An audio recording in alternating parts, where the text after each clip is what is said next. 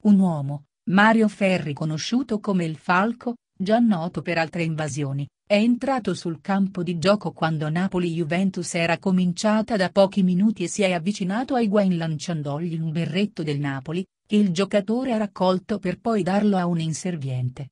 L'uomo, che indossava una maglietta con il simbolo di Superman davanti e la scritta Juvm. Sulla schiena, è poi uscito dal campo e la partita è ripresa.